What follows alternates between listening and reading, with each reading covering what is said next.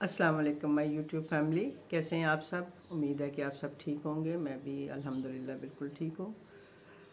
जैसा कि मैंने अपनी लास्ट वीडियो में आपको बताया था कि मैं आपको फ़ूड पांडा के साथ काम करने के लिए आ, जो है कैसे उसको रजिस्टर्ड करना है कैसे उस पर काम करना है और अपने बिज़नेस को लेके कैसे चलना है उसके बारे में गाइड करूँगी। तो आज सबसे पहले तो मैं आपको ये बता देती हूँ कि फ़ूड पांडा पर रजिस्टर्ड होने के लिए आपको जो वेबसाइट है, वहाँ पे जाके अपने आप को रजिस्टर्ड करना होगा। अगर आप उनके साथ काम करना चाहते हैं तो उसके लिए जो है, उस, वहाँ पे जो आपसे चीज़ें पूछी जाएँगी बेसिकली वो एक तो आपका आईडी कार्ड की जो कॉप है पिक्चर्स दोनों साइड से, वो आपको उनको देनी होगी। उसके बाद आपको अपना एक फ़ोन नंबर देना होगा। अपनी बैंक डिटेल देनी होगी और साथ में अपने किचन का नाम। तो जब ये चीज़ें आप उनको दे देंगे यानी आपने उसको फॉर्म फिल कर देंगे तो उसके बाद जो आपने नंबर दिया होगा, उस पर वो आपसे ख़ुद ही कांटेक्ट करेंगे और फिर बाकी जो सारी डिटेल होंगी, वो आपसे वो शेयर करेंगे, आपको बताएँगे कि आपने पैसे कैसे जमा करवाने हैं, कहाँ जमा करवाने हैं, किस तरह से है। और जैसे ही आप ये काम स्टार्ट करती हैं मतलब ये अपने अपने आप को रजिस्टर करवाती हैं तो आठ दिन के अंदर अंदर जो है वो आपका काम स्टार्ट हो जाता है। आपको डिवाइस मिल जाती है और उसके बाद आपका काम स्टार्ट होता है। अब ये है कि आपने मतलब इसमें बैंक डिटेल इसलिए चाहिए कि जो है वो पेमेंट जो है वो वीकली होती है और वो आपके अकाउंट में ही आएगी। तो वो बैंक अकाउंट किसी का भी हो सकता है। ज़रूरी नहीं है कि आपने सिर्फ़ अपना ही देना है। आप अपने भाई, बाप शोहर, किसी का भी आप दे सकते हैं। फिर जैसे आईडी कार्ड है तो वो भी आप किसी का भी दे सकते हैं मतलब अपनी फैमिली मेंबर्स का। जैसे आप कुछ लेडीज़ हैं, वो नहीं देना चाहती हैं तो वो अपने हस्बैंड का दे दें, बेटे का दे दें, भाई का दे दें, बाप का दे दें, किसी का भी आप दे दे दे देंगे। तो इस तरह से जो है, वो आपका काम जो है, वो स्टार्ट हो जाएगा।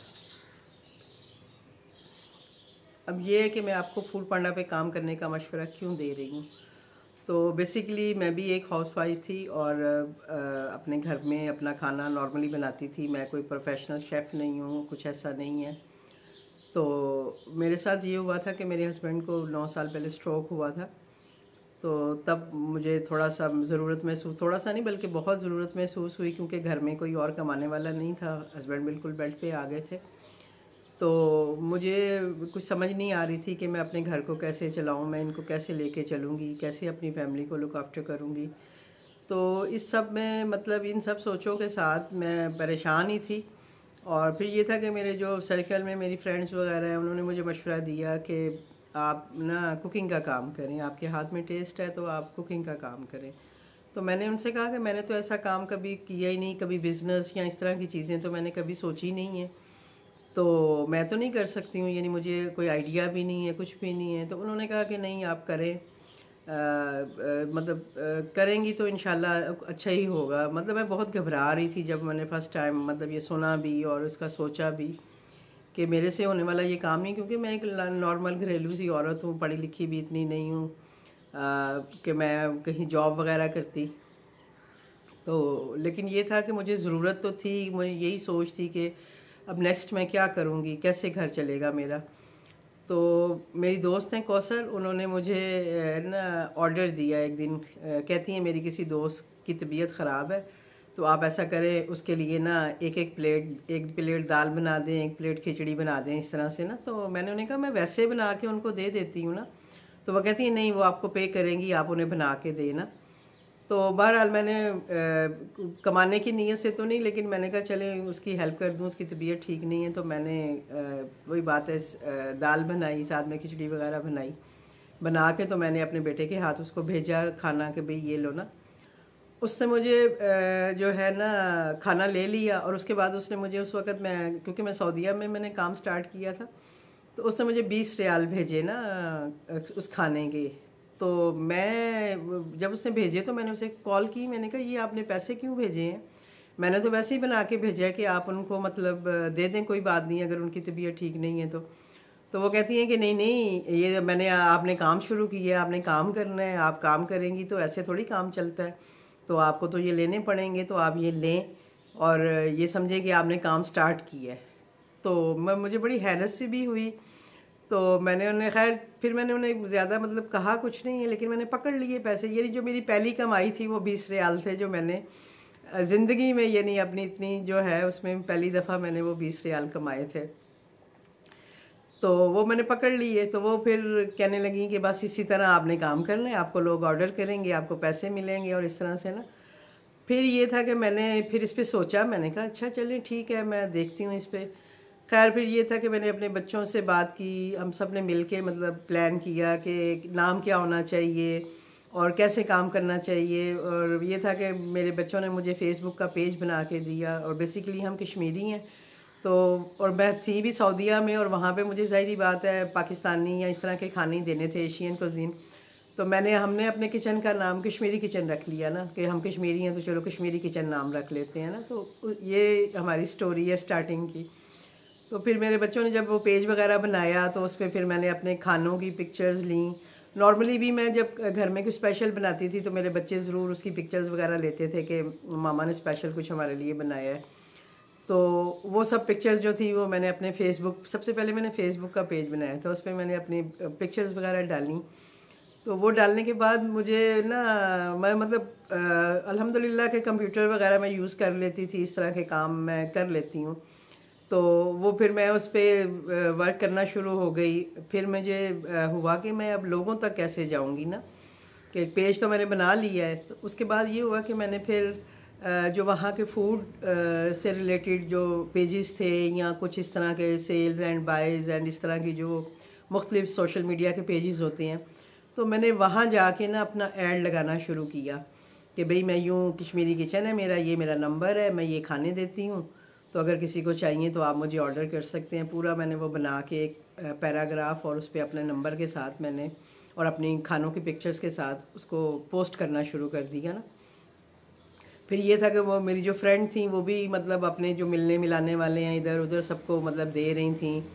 और यहाँ तक कि एक फैमिली थी, आप यकीन करें कि उनके बच्चों ने खुद से मेरा जो पेज का वो सारा था, उसको प्रिंट करवा के अपने स्कूल में बांटा बच्चों में और इस तरह से ना। मतलब लोगों ने भी बहुत मेरी हेल्प की इसमें, यानी छोटे बच्चों ने भी। तो वो मुझसे खाना लेते थे तो उन्होंने भी इसी तरह ना मेरा मतलब काम जो था वो लोगों तक पेपर्स पे छपवा के और वो इस तरह से दिया। तो उससे ये हुआ कि मुझे ऑर्डर आना शुरू हो गए और माशाल्लाह से मेरा काम बड़ा अच्छा चलने लग गया। लोग मेरा खाना बड़ा पसंद करते थे। मेरे इंडियन कस्टमर बहुत ज़्यादा थे पाकिस्तानी चाइनीज़ मतलब इस तरह से ना हर तरह के लोग जो थे वो मुझे ऑर्डर्स करते थे। ये था कि मैं प्री ऑर्डर काम करती थी एक दिन पहले ऑर्डर लेती थी और नेक्स्ट डे मैं उनको, उनके टाइम के हिसाब से ऑर्डर बना के देती थी। क्योंकि जैसे मैंने आपको बताया कि मेरे हस्बैंड भी बीमार थे, मुझे उन्हें भी देखना होता था तो मैं डेली बेसिस वाला काम नहीं करती थी, मैं प्री ऑर्डर काम करती थी।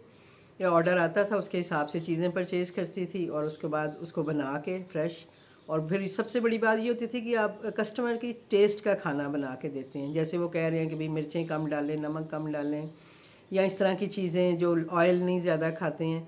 तो वो मैं कस्टमाइज समझ लें कि खाना बनाती थी उनके हिसाब से ना। तो वो मेरा बड़ा अच्छा माशाल्लाह से काम चलता रहा है वहाँ पे।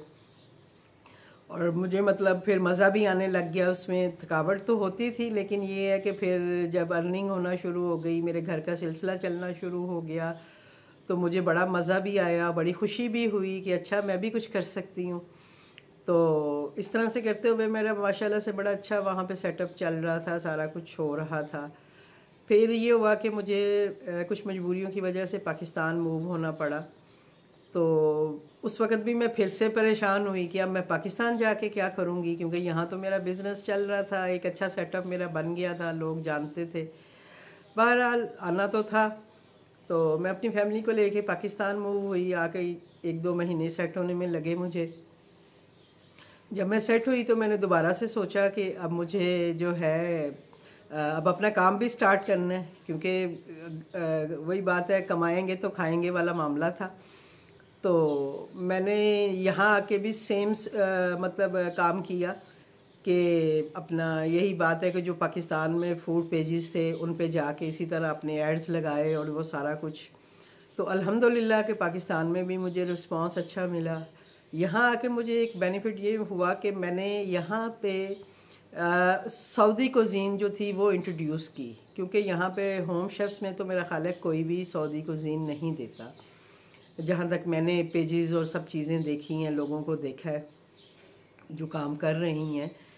और मुझे मतलब मेन टारगेट ये था कि मैं लोगों को ना सऊदी फ़ूड दूँ, ताकि लोग जो है वो शायद उसको पसंद करें या मतलब जो जैसे जो हमारी तरह के लोग वहाँ से आए हुए थे, ज़ाहरी बात है वो सऊदी फ़ूड जो है वो मिस करते हैं।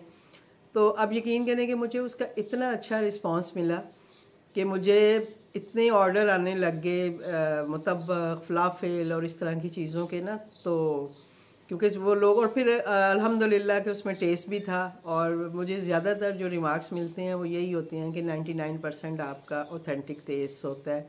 जो हमने सऊदीया में खाया, कोई मुझे कमेंट करता है, मैं हम दुबई में खाते रहे हैं, मेरा बचपन याद आ गया।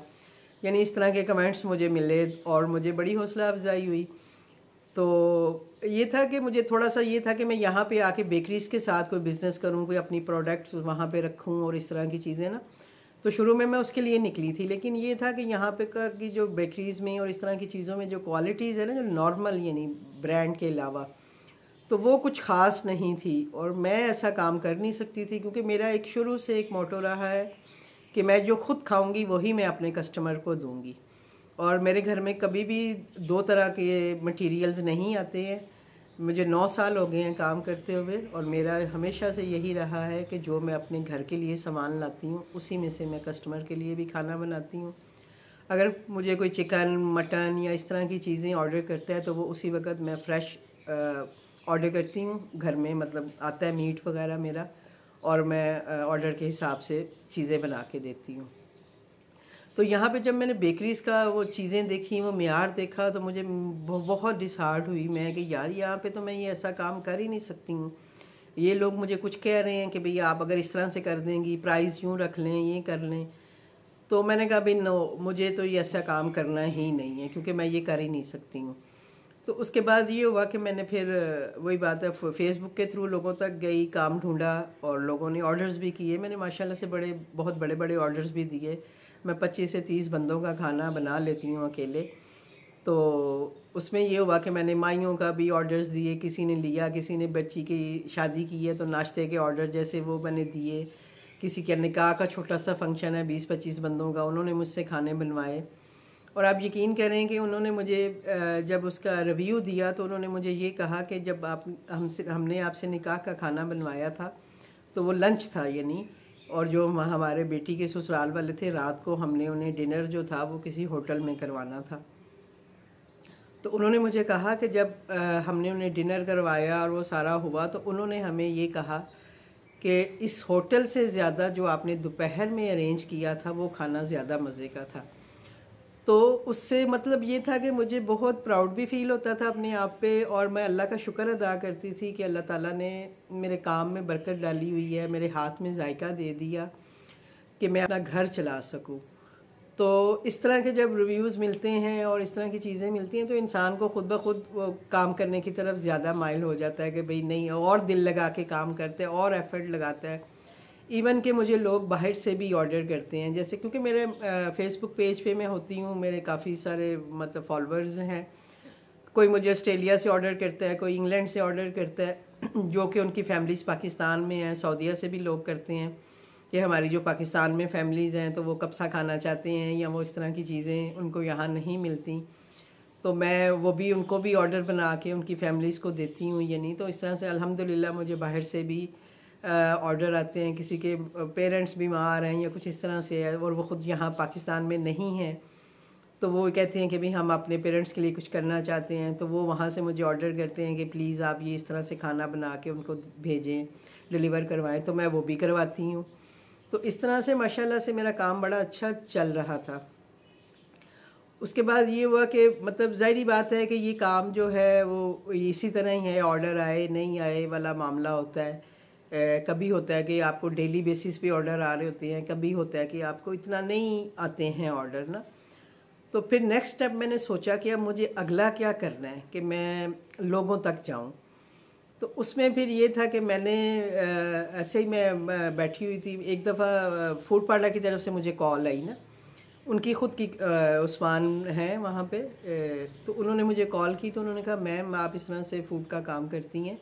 तो हम अपने प्लेटफॉर्म पे होम शेफ्स को लाना चाह रहे हैं। तो क्या आप हमारे साथ काम करेंगी? तो मैंने उन्हें कहा हाँ मैं कर लूँगी। तो मैंने कहा, आप मुझे अपना थोड़ा सा तरीका बताएँ। तो अब उन्होंने मुझे तरीका जो बताया, जब कि आप अपनी मर्ज़ी से काम कर सकती हैं मतलब अपना टाइमिंग आप अपनी मर्ज़ी से रख सकती हैं। जितने घंटे चाहे आप, जितने दिन चाहें वीक में आप काम करना चाहे, आप कर सकती हैं।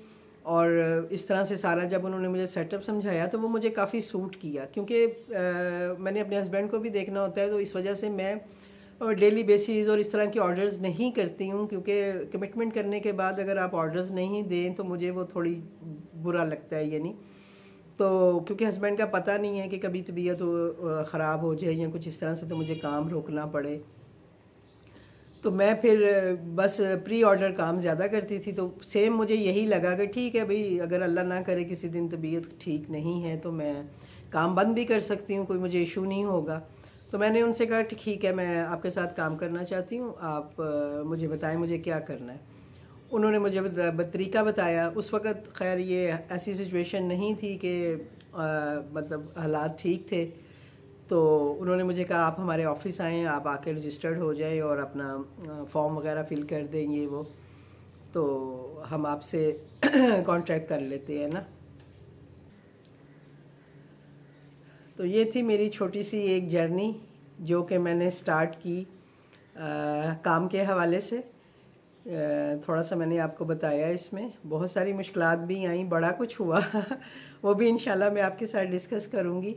लेकिन अभी के लिए इतना ही। इनशाला मैं अब अगली वीडियो में आपको बताऊँगी कि अब आगे जाके फ़ूड पांडा में मेरे साथ फिर क्या हुआ, मैंने कैसे काम स्टार्ट किया और उसमें मुझे क्या क्या मुश्किल हुई, क्या मेरे लिए आसानियाँ हुई और इसको आप कैसे लेके चल सकते हैं, मैंने क्या क्या इसमें एक्सपेरिमेंट किए इस काम में और मैं कहाँ तक गई, ये सारी बातें मैं आपके साथ डिस्कस करूँगी। आप मेरे साथ रहिएगा और इन नेक्स्ट मुलाकात होगी। अल्लाह हाफिज़।